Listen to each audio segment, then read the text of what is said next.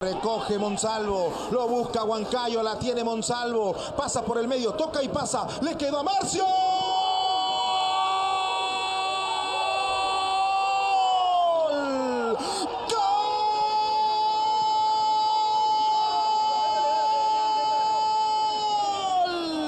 de Sport Huancayo acaba de marcar un golazo. Marcio Valverde encontró una pelota por el medio. Se tomó su tiempo para enfilar un remate que dejó sin opción a Leao Butrón.